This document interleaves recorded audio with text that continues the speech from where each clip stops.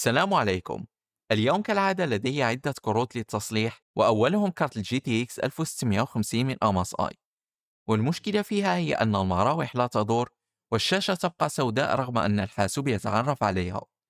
وعند وضعها ككارت ثانوي ومحاولة حفظ ال BIOS فيظهر هذا الخطأ الذي معناه أن القلب لا يمكنه التواصل مع شريحة ال BIOS. والشيء الذي لاحظته في هذا الكارت هو أنه يوجد مكانين تم تلحيمهما مع بعض. وهذا الشيء مستحيل أن يكون من الشركة. وقد تم ربط أحد بينات المراوح مباشرة مع مخرج الإشارة الخاص بسرعة المراوح وهو موجود في القلب. يعني في هذه الحالة فكل تيار الذي مر في المراوح اتجه مباشرة إلى القلب. ففتحت الكارت وفحصت ال 1.8 فولت والمفاجأة أن المقاومة كانت قريبة جدا من التي وجدناها في كارت الفيديو السابق. وعند حقن التيار في هذا المكان وجدت قصر واضح في القلب عكس المرة السابقة. يعني باختصار هذا الكارت لديه نفس مشكلة الكارت الموجود في الفيديو السابق. والفرق الوحيد أن الشيء الذي دمره هو الشخص الذي عمل عليه من قبل وليس المراوح مثل المرة السابقة. وهذه الأشياء للأسف تتكرر كثيرا. فالبعض لا تعجبه مقاومة الفيرام مثلا فيقوم بحقن جهد عالي فيها. وللأسف تنتهي الكارت في المزبلة. والكارت الثانية هي ال RTX 3080 من آزيس وحسب كلام صاحبها فقد حاول تغيير مراوح بواحدة من كارت آخر لكن بعد تجريبها توقفت اثنان منها وخرجت رائحة حريق من الكارت. والمشكلة الحالية فيها هي أن مروحة واحدة فقط تعمل والكارت تظهر الصورة بشكل عادي يعني فالقلب سليم فيها. فانتقلت إلى فتح الكارت تاليا فوجدت أنه تم وضع كمية كبيرة جدا من المعجون الحراري فيها.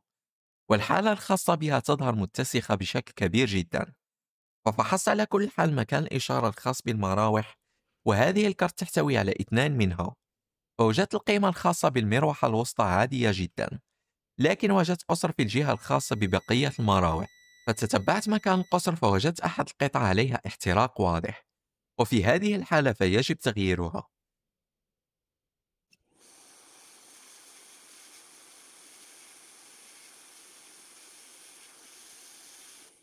وبعد الانتهاء قمت بالفحص مرة أخرى وهذه المرة أصبحت القيم نفسها في المكانين تقريبا. وكذلك جربت إلصاق المراوح والفحص كذلك ولم تظهر أي قيمة غريبة. فجربت الكارت بدون إغلاقها كليا وعملت المراوح بشكل عادي.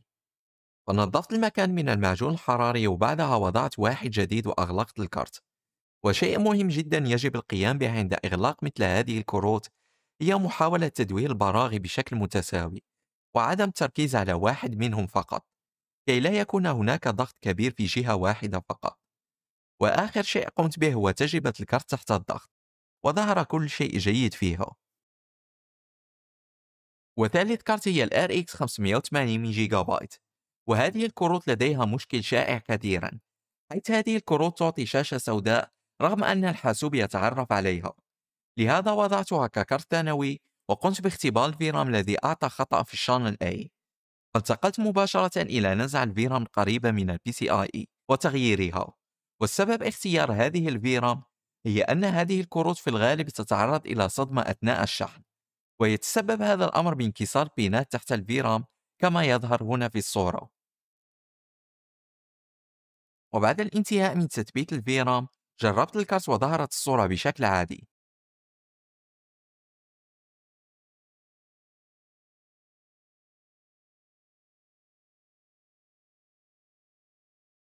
فقمت باختبار الفيرام مرة أخرى ومرة بدون مشاكل هذه المرة.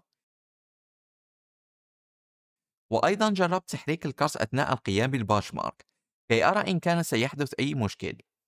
الكثير من هذه الكروت للأسف يكون فيها ضرر داخلي في القلب بسبب الصدمة التي حدثت لها أثناء الشحن ورغم أني أقوم بال reball لل VRAM والقلب في الكثير من الحالات لكن المشكل للأسف يبقى وأضطر إلى إرجاع ثمن التصليح لأصحابها لأنه في الغالب المشكل سيكون من القلب كما قلت سابقا.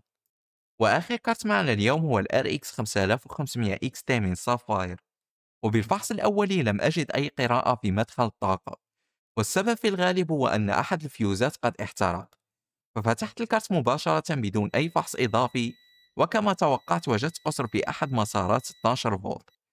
فقمت بحقن 0.75 فولت في مكان القصر واستعملت الكاميرا الحرارية فوجدت واحد من ال DrMOS يصدر حرارة فنزعته تاليا وبعدها غيرت الفيوزات المحترقة.